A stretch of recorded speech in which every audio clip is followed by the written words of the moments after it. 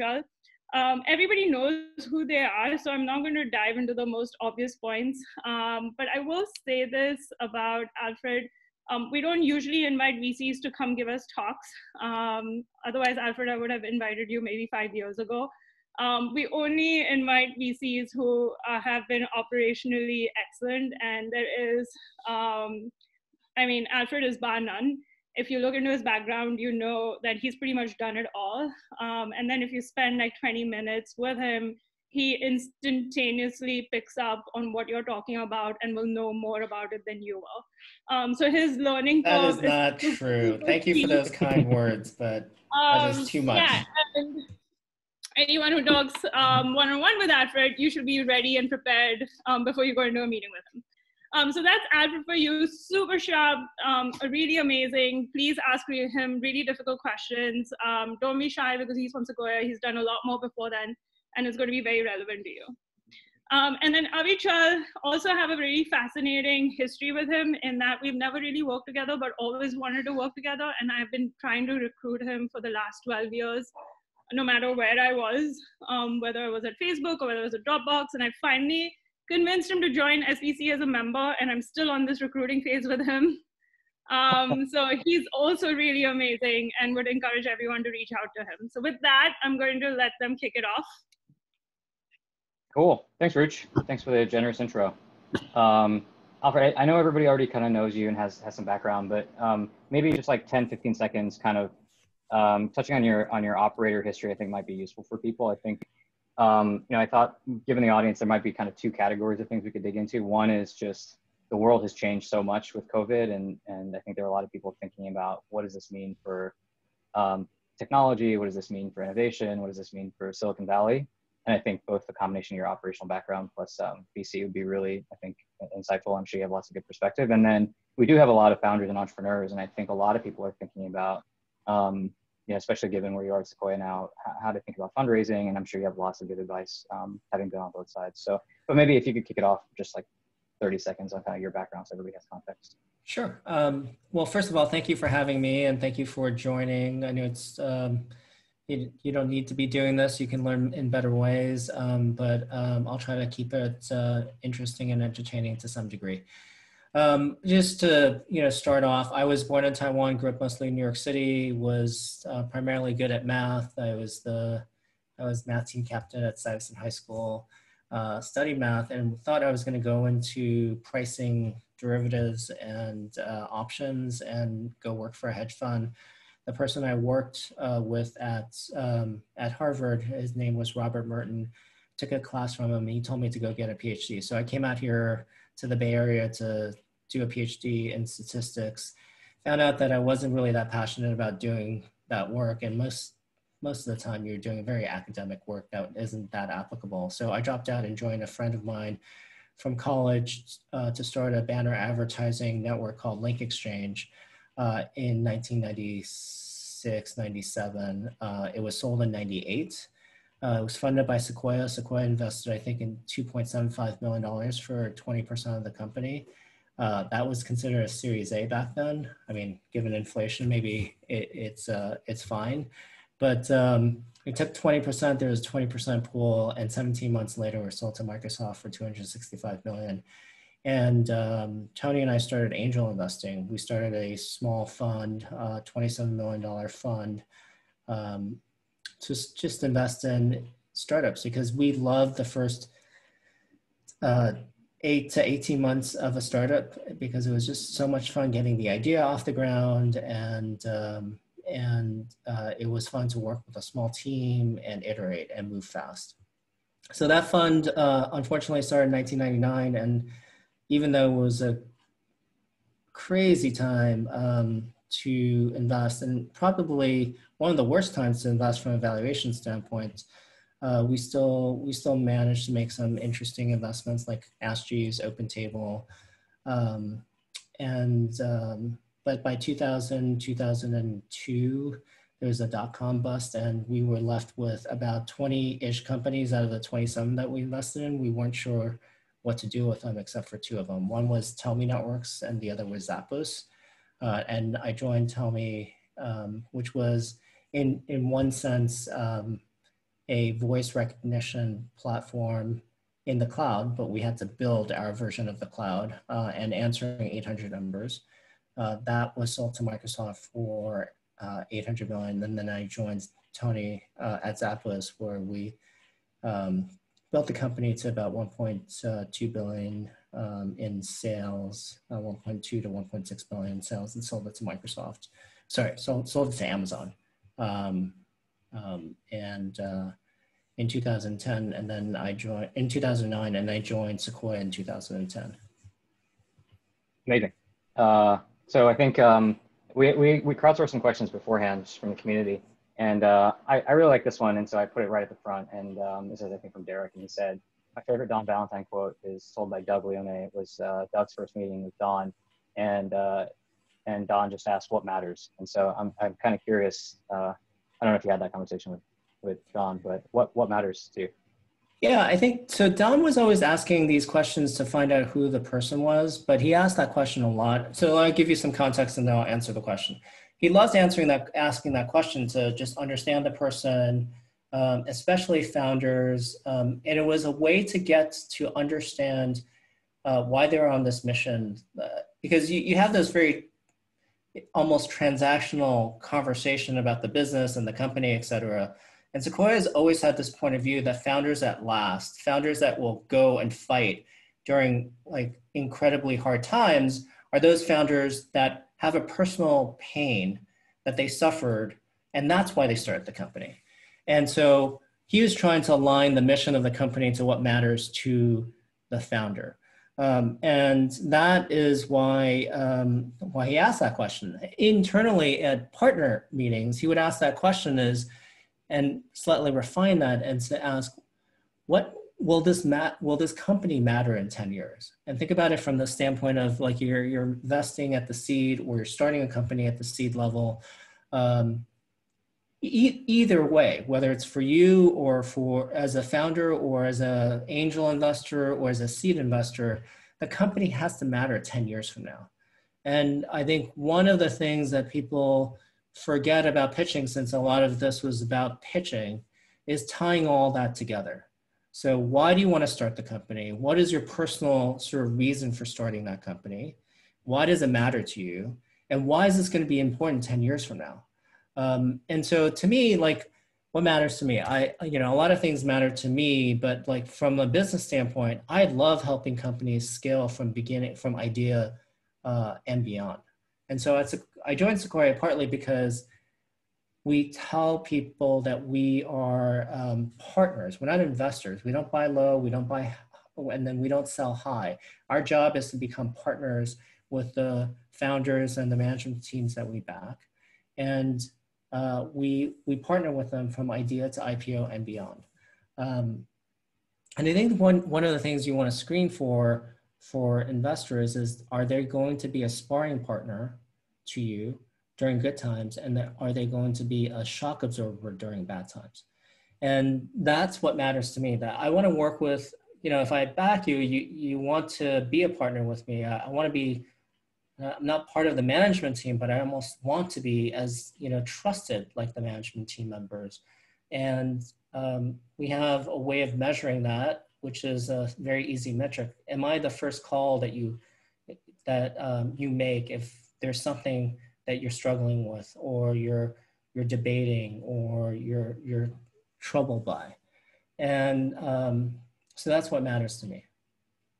How do you get there? Like what what is the is there a process or how do you get to that point of being the first call? I'm just kind of curious how you think about that I think it's a it, it is a process of like developing trust, right? You need to be vulnerable enough to ask. One of the things that I would just encourage all of you um, to think about is when you find when you're fundraising, think of it as not just raising money, but as a uh, as finding a partner. Um, it's an opportunity to find a partner that you trust, that you will, that who you know will go to bat for you and help you during during bad times and, and sharpen your ideas during good times. Um, and that's what I, why I aspire to be. And um, I often see fundraising um, processes look more like an auction. And the auction process is perfectly fine. It ach- achieves certain objectives, which is to move fast. Um, it, it uh, another objective is to um, potentially get the highest price uh, or a combination thereof. You can run the auction a little longer and get an even higher price. You can run it faster and get a less optimal price, but it's up to you. And I think that what's missing there is forgetting the fact that, you know, uh, an investor is going to be on your cap table for a long time if they're investing at the seed or the Series A. Companies these days, even though they grow a lot faster, even the best companies take you know 10 years to develop into a company that uh, gets acquired or uh, goes public. Or you can once they go public you can you, you can actually sell your shares because you're locked up.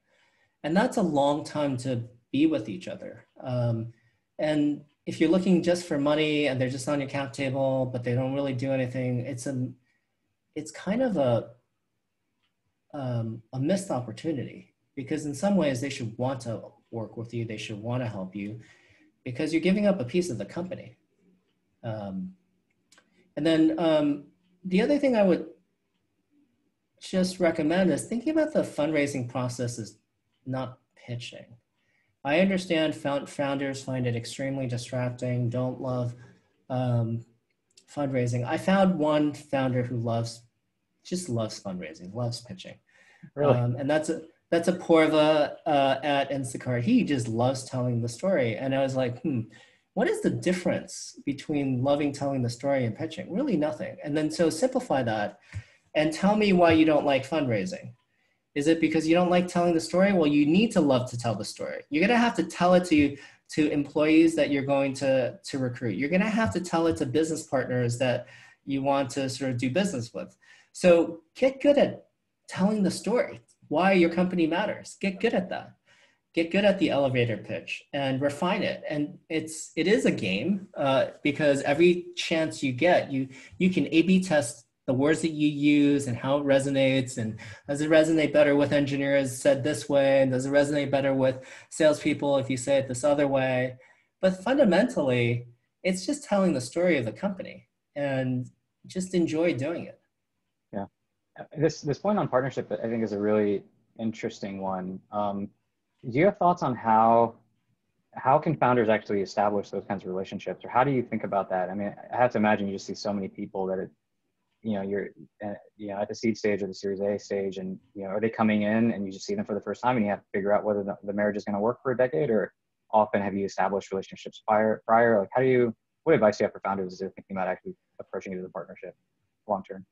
Well, if you think about it as any partnership or marriage, you, you want to have more interactions and you want to be able to be vulnerable during those interactions. So I don't think a condensed fundraising process makes a ton of sense to develop that. I, I do usually think that it's good to develop relationships beforehand. Uh, and it's not that different than you're a small startup. You're, again, back to like, don't think of it as fundraising. You're a small startup. You want to get into a company because you want to sell a product into that company. Uh, how do you do it? How do you figure out how to get in? How do you refine your pitch? What do you say? I often find like, you know, we try to look at every single email that comes in and give some thought to whether we want to respond to it. But if you send me an email that's clearly generic and you send it to 15 other people, probably not going to respond. And so thoughtfulness on who the right investor set you want to reach out to, like because you've looked through their public profiles and understand what's what they're looking at, what's important to them, why they might be able to help you, um, and think about like how your company fits into the investments they've already made, which is like a sign of some of their investment theses, and craft a thoughtful email. I think you'll you'll get a response. Um, and then I would encourage people to develop a bit of that relationship um, and I always uh, am surprised that founders don't ask for feedback about their pitch at the end. Like I could give you pointers on making the pitch better. I can give you pointers on making the business better, what I would worry about, et cetera, et cetera. I think the interaction that you have during a pitch can also be a way for you to learn. Um, and often I find that, you know, these, I fault I don't fault anyone for doing this, um, but I fault sort of misunderstanding the process. But if you only show me the good data and never show me the d- bad data, it can't really help you. Um, and you know, part of developing trust is to be able to show me the bad data and know that uh, I'm not going to flip out. And, and there are people who will flip out. You don't necessarily want to deal with that. So it's also a way for you to screen people that you want to work with over the long run. Um, certainly, I don't want to be surprised by bad data. I don't think it's a great situation where you only show me good data and then towards the end you show me the bad data when we're about to close. Uh, even worse is all good data up to, you know, up to the first board meeting and then we have a oh shit board meeting. Uh, that's not that's not a great way to start a relationship or a partnership. Is that different for the seed stage versus Series A? I mean, like at the seed, you, often people just, you know, you might be just, you might even just have an idea. It might not even be data. Like, how does the relationship development work kind of when it's literally might be one or two people and, and an idea? Yeah, I think the one or two people and an idea, I think that it is different. It, it's then it's about riffing with each other about why you think the idea is good and you know, the, the clear salespeople would say how big the market is and uh, there are no there's no competition. And so the data is not necessarily about your company but the data might be about like why this this market matters and why you're attacking this market etc um, and so it, in every single pitch i find that there is there is data um, and data points on how you riff with each other. I think you want the relationship where you build on each other's ideas. Um, and there's this natural rhythm. You can see that they get it, they can see that you get it, and you're improving each other's idea in the seed stage. Um, and that's that's what I would look for. Has that changed at all with COVID? I mean, are you guys doing personal meetings still in person? Like, how do you how do you generate that rapport at the seed stage over? Is it primarily still over Zoom that you're doing pitches, or how does that work for you guys? It's now? primarily over Zoom. We'll take some social distance walks with some founders if they they're okay with it, and um, you know, I think it's also dependent on the you know, sort of people's um, personal sort of situations. Like if you have a young kid, you might not want to do that. If you have if you're living with your older parents, you might not want to do that. So we're very, very flexible on that. that. I think developing rapport is quite important. Um, and you can develop rapport over email, over uh, text, over video, uh, as well as in person. But we, you know, I, I, I'm an introvert. I don't have a problem sitting at my desk all day long. When COVID happened, I thought this is going to be great. And even I'm getting tired of being cooped up.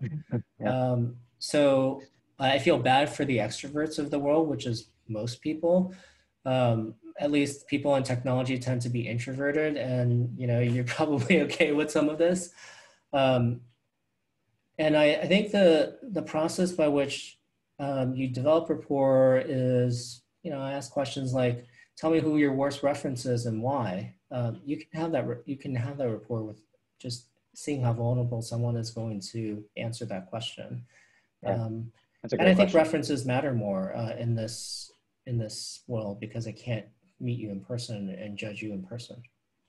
Yeah, I was just going to ask, do you think, I mean, the dynamic just being so different over Zoom, um, do you think it changes the kinds of founders that are likely to get funding or able to get funding? Like, it, you know, you talk about like a um, founder market fit or product market fit. It feels like the market, the environment just changed so dramatically um, that does it actually bias towards different kinds of founders in a, in a good way? Like, does it allow people to come in and uh, are you seeing a shift in the types of founders that are able to be successful in this environment versus previously, or is there no shift? Um, I think there are subtle shifts. I think if you're dealing with someone who um, is looking out for the shifts, I think it's we we try to adjust for that, and we've talked about this. But I actually think it's great. In some ways, it's great that we do first meetings this way because um, you're not wowed necessarily by showmanship. I think substance comes through a bit more um, than showmanship when you have to pitch over the phone or over Zoom. And I think that that sort of cuts, it's, it's a bit of an equalizer from some of that stuff. Um, I had a, you know, five two woman tell me that she loves Zoom because she's not always being towered over by all these people who she's pitching to. So it's actually a confidence booster for her. So there are changes. Um, I also think that it's easier to, um, it's easier to back things that are less technical, meaning that technical things where you have to go to the whiteboard makes it a lot harder to, to do a pitch with and things how, show how things might move around and why the product works, etc. Um, and so I've seen this more and people start writing more and documenting more and the pitches in a memo rather than um, than than an actual pitch. Is it changing the is it changing like um, the geographic constraints at all? You know, I know you know, the, the, history of Silicon Valley has been sort of in this sort of 30 square, square mile radius, but is it changing geography? Is that, have you seen a geographic shift at all? For sure. Um, I don't think so. I don't think Silicon Valley will lose its edge on helping develop lots of great companies. I think there'll just be other places in the world that will pop up too. Um, and then I, I, think, you know, you, you have this situation where I think most companies after doing this will question some of the things that they used to do. I was talking to um, a, someone who runs revenue at a fairly large public company and they had he's like i don't i'm not going to tell you exactly how much we spent on t&e but we, it's gone to zero and we've not missed a number in you know in the last two quarters and i don't think we're going to fly people around doing sales the same way we used to. Uh, now are you going to be able to sell your company without having uh, a prior relationship or like meeting the person who's going to pay you a few hundred million to a few billion dollars in person? I don't think that's going to happen either. So there are things that will will eliminate but there are things that are going to stay. I th- i think most companies are not going to go to full remote they'll go to hybrid. There'll be some hybrid way of working. Um, but there's some, there's some center of gravity at headquarters. There always has been. So multinational companies have done remote and hybrid for a long period of time and they've mostly centered around gravitational sort of offices in certain regions and be hub and spoke for a reason. They, you know, the, lots of companies have tried to have, um, for example, at-home um, call center agents. That has worked on the margins, but not completely worked. Um, we've tried remote engineering work, and that's worked on very isolated pieces and projects, but not, uh, and maybe you can create them in pods, but it, it's not exactly uh, completely prolific. Um, and engineering productivity isn't as great in those situations. Um, you know, and, and I think there are going to be more situations where you just cancel a bunch of meetings. Like no meeting Wednesdays was being practiced at Airbnb to try to increase engineering productivity I think that, you know, letting people work from home on a Wednesday in the future may just happen throughout the company, not just in engineering.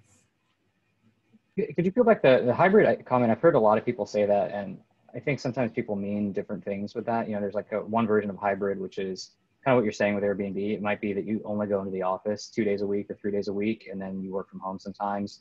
But generally, everybody is in roughly one geography. Uh, there's another version of that, which is kind of like you know, product and design maybe is in San Francisco, and then you have engineering hubs all over the world. Um, like, uh, do you have specific models when you when you think hybrid in mind? When uh, I think the things that are likely to work are grav- are more more locations around the world with some gravitational pull. Um, I think when people need to collaborate, they need to be in person. And and do you think you can that's have... a that's a that's a point of view that I have, but it may be wrong. So yeah. we'll see when we open up. Yeah. Um, Do you think that with that kind of a model, could you end up with a with the center of gravity, the headquarters not actually being in the Bay Area? Like, do you think you're going to get hundred billion dollar companies that are all, in in theory could be anywhere, or or do you do you think it's going to be less drastic? Like it's now the next five markets, like Seattle, New York, Toronto, Beijing. Like, how do you think about where the center of gravities will be? Oh, I think it's going to be less drastic um, for sure. But I think city centers have quite a lot of pull. I think there was a Economist article a few, uh, maybe a month or two ago about New York City and people considering uh, being afraid that New York City was done. That story has happened many, many times, but no longer being the financial sort of capital of the world. It's it's a financial capital of maybe the U.S. It's not the world. There are other places that are financial capitals. I think the same will be true for for tech. And don't and keep in mind, people want to live where they want to live. They want to be with their friends. Like when the lockdowns, you know, is lifted, you want to you want to live where your friends are. Um, and if your friends happen to still be here, they'll they'll be here. If they all flock to Colorado because it's a better quality of life, there'll be a then tech will pop up there, and it has. Um, but I think you know some of the sort of ter- secondary and tertiary cities will become much more interesting places to both live and and build companies. Gotcha. So maybe uh, we're about halfway through. So maybe one last question, and then we can kind of hand it off to the audience, and people can ask questions. Um, you know, given given all the shifts that have happened in 2020 um, around COVID and and other broader shifts, I mean, I think there's a lot going on in the background in technology right now. Is there a, a wish list of stuff? Are there things top of mind for you that you're like, man, I, I would really love if if there were founders tackling X, Y, Z, or thinking about these kinds of problems? Um, and then maybe that's a good transition to the audience. Um, I, you know, I'll answer it in my own way. I'm sure everybody will answer it in their own different way because they're looking at different things. I sure would love, um, you know, I think there are a few things I would love. I sure would love better collaboration tools, but that's like everybody's working on that, right? Like I don't know if everybody has a point of view on what we need to get accomplished together. Like I, have heard all these pitches like, yeah, we we miss each other, we want to sit next to each other uh, as a desk. Let's turn on video and let's have a floor plan and you're just sitting. I'm like, does it really help with collaboration? I mean, trying to simulate what we used to have is not going to get us into the future. Like I think you need to sort of one of the things that I've always loved is like founders who just like understand that the you know the the making the past a little better in this world doesn't really isn't the thing that matters in 10 years um, and so if you're going to build a productivity tool of the future you got to think about where we will end up and how we're going to work and why why that tool will become important um, there's a lot of activity in notes and note taking because more documentation is definitely required in either the remote or the, the hybrid world. But again, I mean, that's kind of obvious that we'll do more documentation. That doesn't really help us with more collaboration. Um, that's number one. I think there's going to be a whole slew of things that are going to be built on video as a plat. Video is the next new platform. There's going to be a whole set of things built on video. Uh, the question is, uh, what are the interesting applications? Do they get verticalized? Um, so that's number two. And then I think that we will continue to see uh, wonderful companies being created and the move to the cloud. Um, but the valuations are such that maybe people are forgetting that consumer still is the majority of our GDP. And I see way less consumer innovation today than ever before. Um, and I don't think I don't think we're going back to some of the ways that we used to do things as a consumer. I, I just think there's huge tailwinds in e-commerce. Uh, there should be more tools being built in e-commerce. Uh, I see huge tailwinds in Amazon getting huge amount of benefit, but look at Etsy. Etsy has done extremely well. Why are there not more uh, interesting marketplaces being built? Um, uh, now than ever before. I mean, we have some, we back some in the sort of previous generation of on-demand, whether it's um, DoorDash or Instacart, and we've had some in ride sharing. I'm sure there's going to be more uh, ideas that come out of um, what's happening today. Um, and then one more idea for you, I think B2, B2B marketplaces is not a well understood world uh, were seed investors in Faire, which I think is doing extremely well. In the past, B2B marketplaces have been tried uh, with exchanges like chemical exchanges, but the problem with marketplaces is you need many on one side and many on the other, and hopefully they, there's diversity of the many, many transactions. If it's five on five, that's not gonna, that marketplace gets disintermediated. Um, and so B2B marketplaces that serve small, medium-sized businesses or small, medium-sized businesses selling to other small, medium-sized businesses might be an interesting place to sort of think about how the world will be different. And in fact, I, I don't think we're going to go back to going to trade shows and conventions to show our product like they used to. That's great. Do you have a theory on why you're seeing fewer consumer? Is like entrepreneurial energy just being poured into other markets for some reason right now? I think the we we we have a tendency as human beings to just like to do the, the thing that is hot. And I think the the problem with that is by the time it's hot, it may be too late for you to start a company or for us to invest. Because back to again, it has to be important 10 years from now. Uh, kind of have to think about whether something today will be important 10 years from now. Gotcha. All right, we're gonna kick it over to the audience. So first question for you, Alfred. Um, what do you think of the crypto market and how that affects the software world? And you should answer that question. I have you're, you're the expert. Uh, I have lots of thoughts, but that's that I, will ramble. I'm, I'm very curious what you think. Uh, I can give you my high level, which is I think it's going to eat up a lot of fintech and finance, and it's um, it's the first infrastructure that's natively can handle money, and and, and the idea of like digital scarcity baked into uh, digital systems, I think, is a pretty fundamental breakthrough, and we're just starting to scratch the surface of that sort of as an enabling technology. Um, but you know, in, in your businesses and, and the things, you know, Airbnb, sure you're still in touch with the Zappos folks. Like when you look at existing companies that you're involved with, or you know, I know Sequoia does do some crypto um, or crypto adjacent fintech. Um, how are you thinking about it? Do you have a perspective on crypto as infrastructure or crypto as Rails? So I think we're, we've always been very, very interested in, um, in the blockchain and the use of the blockchain. Um, crypto itself seems more speculative as a market. Um, and I want to separate usefulness and speculation. I think you can make a ton of money being a speculator. Um, my brother uh, works at Citadel he, at a hedge fund. So he, he makes money from taking positions and long-term views. He also makes money from speculation or betting against what other people think uh, is happening.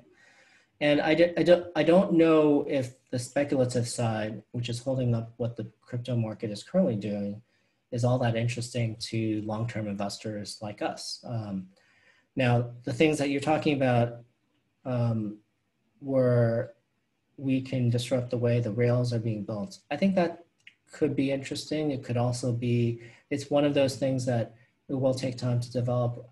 I don't know why um, governments would love this. It prevents their ability to tax you if this were completely off the books and off the rails. And so to me, I love the decentralized, trustless nature of it, but at the same time, I think the anonymity of it causes a lot of problems. Um, and so if crypto, if the crypto uh, industry wants to disrupt finance, um, I think they need to sort of be at some level understanding that um, being government compliant will be quite uh, necessary for their survival. Yeah, lots of good thoughts. Um, I'm just kind of scrolling through and trying to bucket these by theme. So maybe maybe um, staying on this theme of uh, forward-looking technology. What do you have any thoughts on what social networks will look like in ten years? I I don't know. Um, I haven't really thought about that, but I social networks have been very much about um, a few general pillars, which is um, connecting th- people through user generated content. And that's been tried over and over and over again. It's not like it's new. It, like, you know, if you want to th- think about it, it was originally with text, with ICQ, with messenger, with messenger, with instant messaging, with, um, and then we moved from text to um, to photos with with Instagram. And by the way, Instagram was probably one out of um, 10,000 photo sharing apps. They just happened to like land on the filter that made your photos look good and worth sharing. I think people forget that. Um, and then um, I think Instagram, Facebook, Snapchat all sort of fought to win um, photos and then short term, short form video. Um, and I think that the next one will be, um, we'll also need to sort of think about their iteration into video. I think video is not gonna, well, we're just gonna consume more and more video over time. Some of the things that um, have worked uh, here don't necessarily work in Asia, and the things that work in Asia don't necessarily work here. But short form video entertainment is a really, really hot space in, um, in, in China, for example. And we have a, we, we have a fairly large practice in China.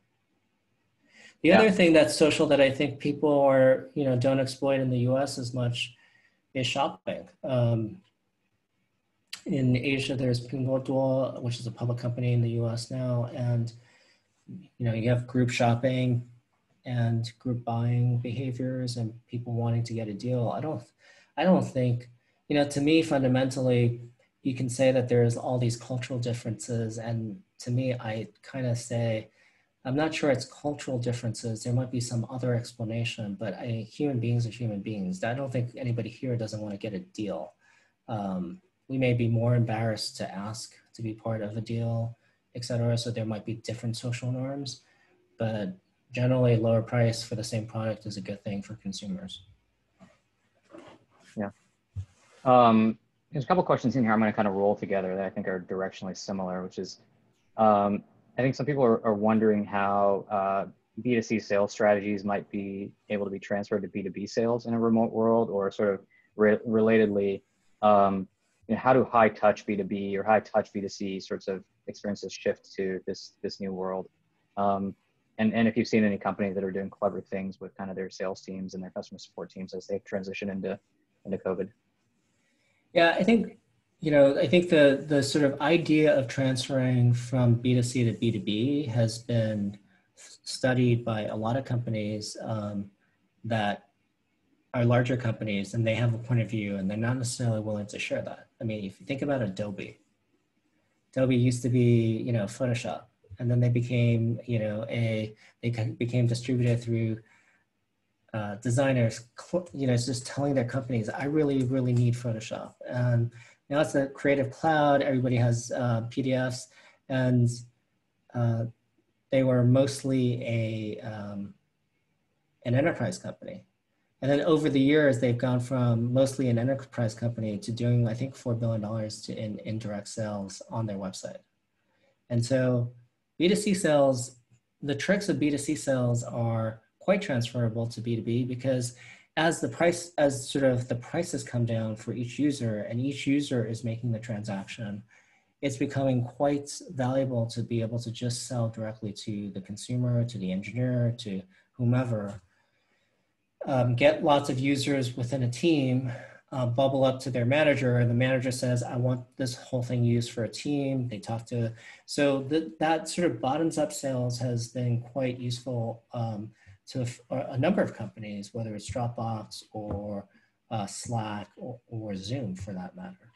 And so the, the tricks have always been to try out, try it out as free slash freemium, um, but be careful of that if there's true costs associated with true carrying costs, not just costs um, um, for a period of time, but like Dropbox. Once you upload your files and you never churn, why would you? Because it's being stored and you never upgrade, there's true carrying costs um, as, as um, for, for to- as long as you're a member of, um, of Dropbox.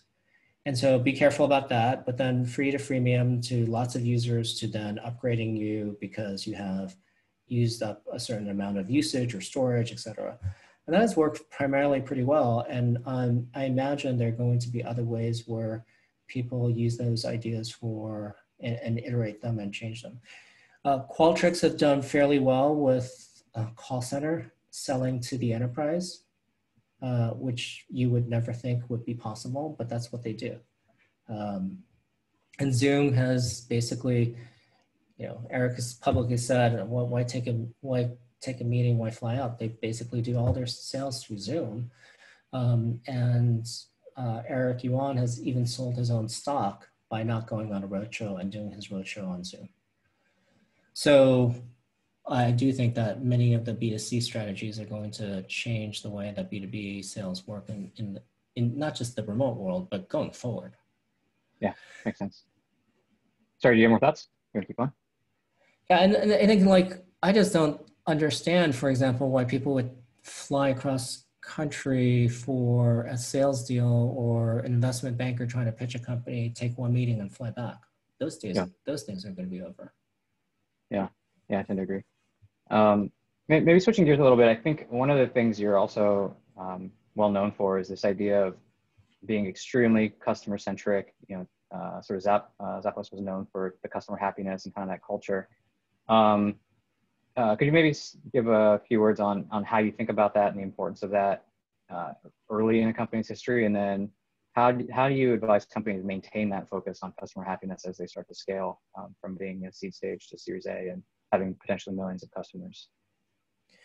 Well, I think culture, customer service, customer happiness, they're they're daily habits. You gotta you gotta put in the time. It's like fitness, right? Like you don't you're not going to to to go on a crash diet when you know you're unhealthy is not the way to maintain fitness. The maintain fitness is make it a daily habit. Um, and culture, uh, customer service is no different. So you have to practice those things.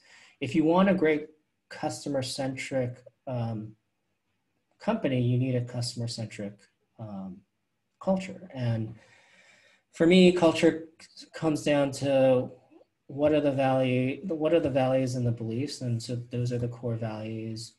And how do they? What are the actions that you're looking for, and how do you like operationalize those actions? And what are the narratives that come out of that?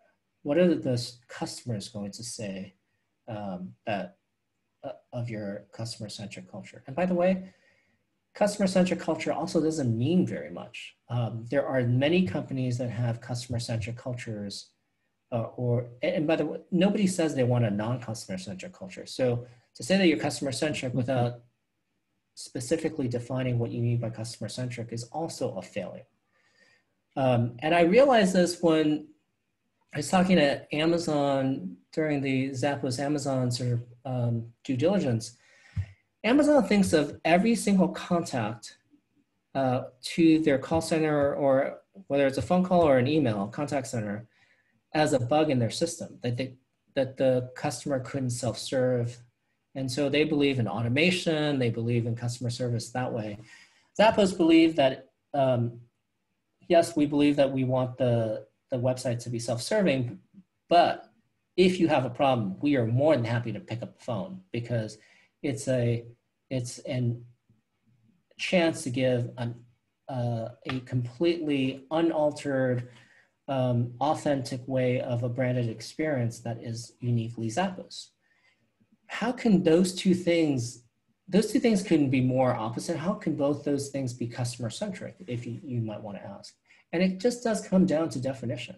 Uh, we want it to be high touch, um, and that that means a certain type of culture and a certain type of actions and certain type of behaviors that are different than um, than Amazon.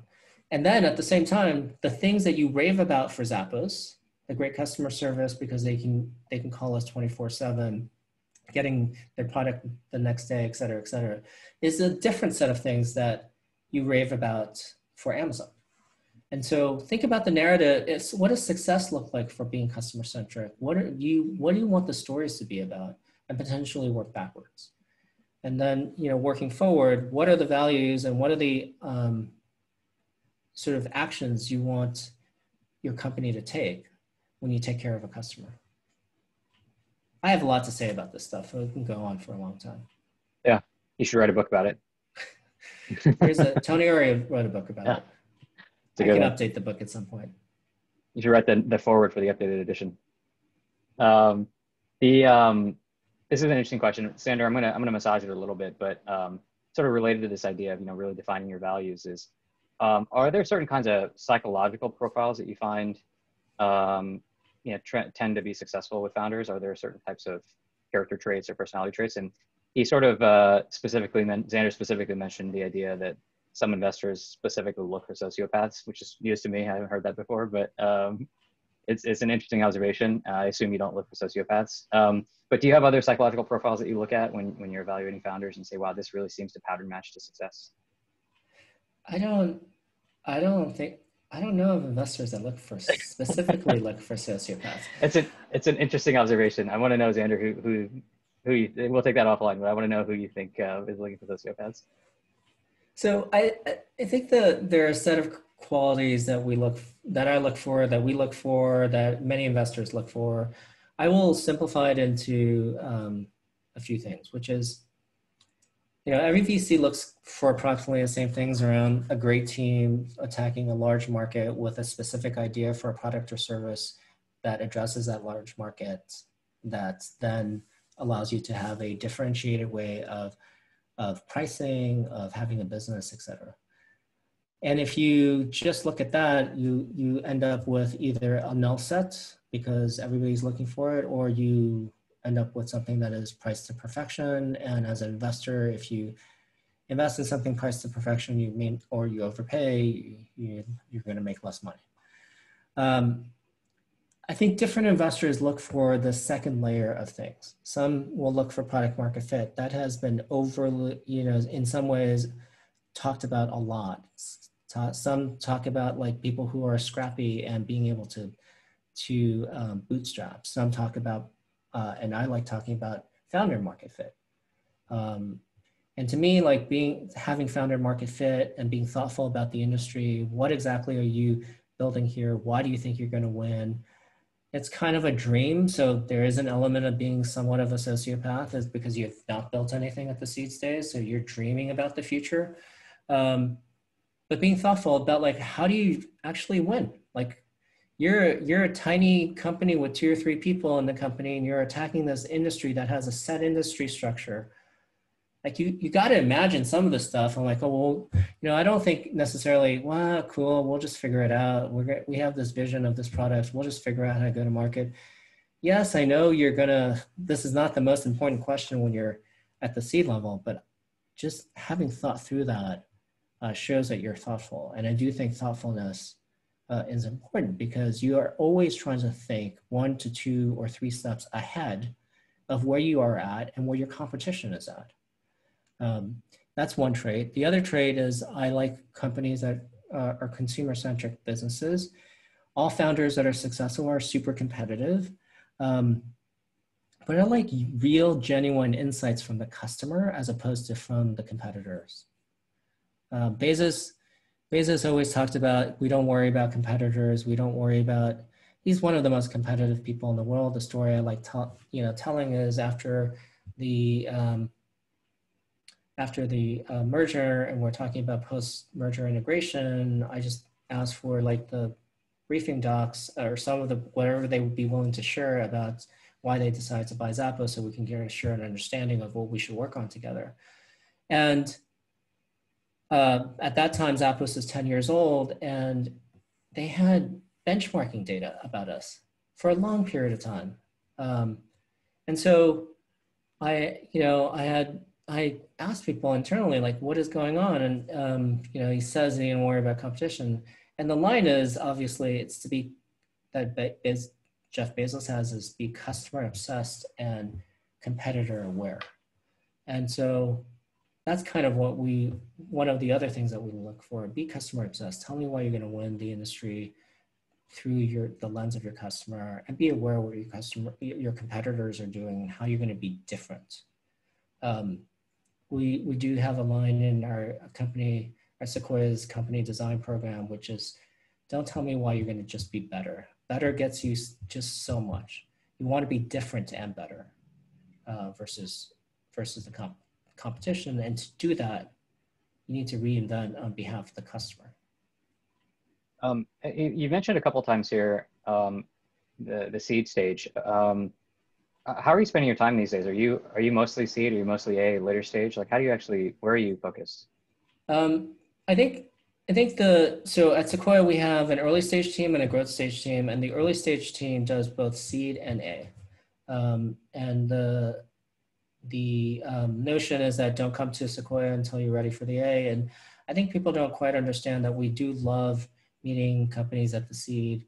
Um, and um, we do make seed investments.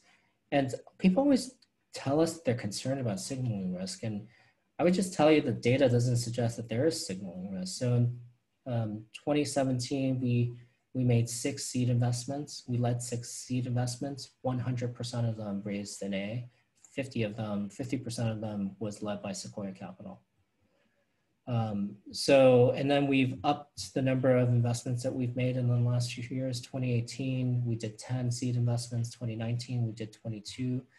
Uh, this year so far, we've done over 15. So we're not the most prolific seed investor. We're not spray and pray. Each partner at Sequoia makes one or two investments at the seed level and one or two investments at the Series A a year. We're not high volume, but hopefully we we are we are just as thoughtful as we ask you to be thoughtful when you come pitch us. That's right. Um, and maybe I think we have we have just a couple minutes left, but this this last one or two questions might be good ones to end on too. Um, Hari noted that a lot of VC firms have come and gone and risen and fallen over the years, and Sequoia has consistently been at the very very top, number one for decades. Um, what's the secret sauce there? Like, is it a succession planning? Is it a worldview? Is it a culture? Like, what what keeps uh, Sequoia on the top? I think it's the culture. I think the the reason I joined Sequoia is because I've known the partnership for a long period of time, and there's no one at Sequoia that just rests on their laurels. And we there's a sense of we have our 10, 10 tenants or values, and first one is um, first two are performance and teamwork. Um, we also focus. Another one is just to be focused on on enduring. Um, another one's about active ownership. So we, we are active builders of Sequoia. We're actors, we're actively thinking about what is enduring, uh, both for your companies that we invest in and, and, and partner with, as well as our, ourselves. Um, and we, there's also a sense that each of us came here standing on the shoulder of giants and we have the obligation to make sure that when we leave, that the place is better off than when we started. Um, and I, I think the, you know, that is a little different. Uh, we have 50, almost 50 years of tribal knowledge now, 48 years. Um, and we, we use that. And there's this tension always between tribal knowledge and reinvention. And uh, we apply that to ourselves and we apply that to the founders that we work with. Um, often founders will tell us that they want to reinvent something. And I'm like, that's great. We've seen 10 companies tried this, nine have failed. I'm not saying no.